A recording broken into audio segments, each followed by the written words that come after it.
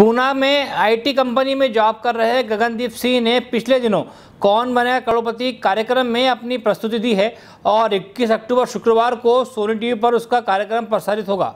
सरदार हरविंदर सिंह के पुत्र और समाज सेवी जसबीर सिंह, गुरभय सिंह, सुरेंद्र सिंह के भतीजे झिरनिया बढ़वा के गगनदीप सिंह भाटिया को युवा सिख संगठन जिला प्रभारी भाटिया ने दी बधाई।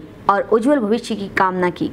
बढ़वा के गगनदीप सिंह भाटिया ने सिख समाज का नाम रोशन किया है। उन्होंने बताया कि मैं पिछले कई वर्षों से इस कार्यक्रम हेतु प्रयास कर रहा था। अब मेरे बुज़ुर्गों और वाहे गुरु की कृपा से मेरी मेहनत सफल हुई है। झिरनिया से सुखदीप सिंह भाटिया की रिपोर्ट। गगनदीप सिंह जी भाटिया, आपने करोड़पति में भाग लिया और आप सक्सेस होकर पधारे हैं। आपको पूरे परिवार को पूरे निमाड़ की ओर से बहुत बहुत बधाई। क्योंकि आपने केवल निमाड़ का नहीं, मध्य प्रदेश का नहीं, बड़वा का नाम रोशन किया है। हम आपको बहुत बहुत बधाई देते हैं। अब हम आपसे ये पूछना चाहेंगे कि कौन बनेगा करोड़पति में? आप पहुँचे।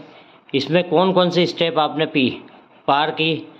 और कैसे रहा आपका ये सफ़र? सबसे पहले तो बहुत बहुत धन्यवाद पूरे निवाड़ क्षेत्र का।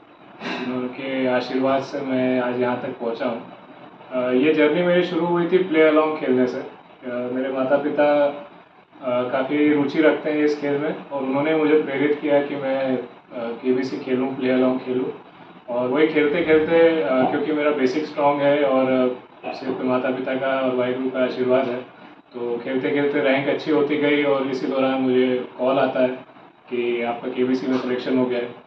और इसी सिलेक्शन के बाद फिर मुझे पहले तो यकीन नहीं होता कि ये सही भी है कि नहीं। फिर भी आगे प्रोसेस चालू हो जाती है ईमेल्स आते हैं पर्सनल इंटरव्यू होता है। और फिर यही करते करते आगे एक दिन टिकट आती है और मुझसे कहा जाता है कि आपको मुंबई आना है।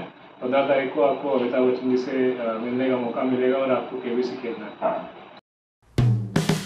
हेलो फ्रेंड्स आप देख रहे हैं हमारा channel S W twenty four news हमारे सारे वीडियो सबसे पहले देखने के लिए आप हमारे चैनल को सब्सक्राइब करें और पास में लगे बेल आइकन को दबाना बिल्कुल भी ना भूलें।